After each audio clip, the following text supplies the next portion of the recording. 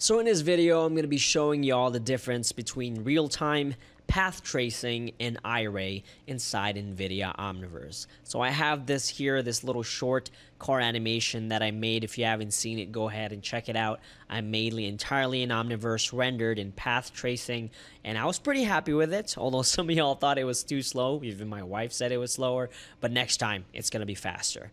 But anyways, what you're looking at right now is the real-time rendering right here as you can see. So it looks pretty good. You have some nice kind of reflections here. Now, this is a video game car, so it's not really high quality, I wouldn't say. Even the materials are still pretty gamey.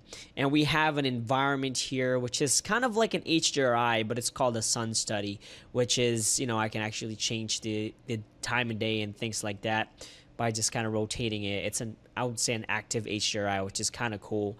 But what I'll do is I'll flip it over to path tracing. So we'll take a look at that. So you can see right here and then I'll flip it over to Iray. And as you can see, that resolved. Again, this is only 64 pixels uh, right now, which looks pretty good. But what I'll do is I'll go ahead and kind of, I'm going to remove the denoising real quick, and then I'll go ahead and change this to maybe 1024 to just get some more pixels on there. And I'm just going to wait for this to resolve, and you're going to see that the image is a lot better. Um, again, it's pretty darn good. You see a little bit more bounce right here in the shadow area. And the reflection is not too bad. I can actually see the clouds from the HDRI, from the sun study uh, environment right here. So it's pretty cool. Uh, right now it's at 490, so it's getting better there. It's resolving a lot better. So what I'll do is once this is done right here, I'm going to print screen it and just get an image so we can all compare it in After Effects. And then what I'll do is I'll go ahead and just do it for the real time as well. And then what I'm going to do last is the Iray, which is the NVIDIA Iray that's built in NVIDIA Omniverse. Now, this is going to take a minute, so what I'll do is, is I'll pause the video for now. Okay, so this is the Iray version, and as you can see, down here, you definitely get a lot more detail. And you can see a lot more down here. The reflections are a lot better. They look so much better than real time in path tracing. And again, this is insane, right? Now, obviously, right now, um, not everything is supported, I'm guessing, because the grass materials kind of turn dark. But if you're looking at this right here, as far as car goes and any hard surface for that matter, this looks fantastic. So I'm going to go ahead and print screen this, and then we'll go to After Effects to really just compare the three renderers. Okay, so here we are in After Effects, and I have all the images kind of just stacked on top of each other, starting with real time right now. This is on top of the stack, so you're looking at the real time version, and then what I'll do is I'll flip it over to path tracing now. So this is real time, and this is path. Again, you're going to notice down here, there's just not enough of data there. It's gone, it's crushed.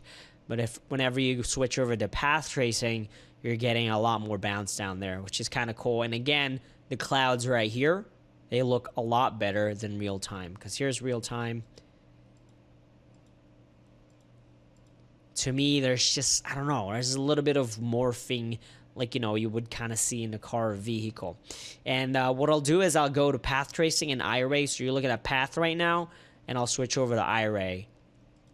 And again, the difference Look at this. This is Iray, and now you have some reflections even right here. If you look at this area, I'm going to turn it on. Path, that's path tracing, and now that's Iray. So I'm going to try to render something in Iray in NVIDIA Omniverse and see if I can pull it off. Because looking at this here, I'm pretty darn impressed with NVIDIA's Iray renderer. It's just insane, man. It looks so freaking good. You just see a lot more there. And the reflections are much nicer. But that's pretty much it. I just wanted to show y'all really the different renderers in NVIDIA Omniverse. You have real time, you have path tracing, and you have NVIDIA Iray. Peace out.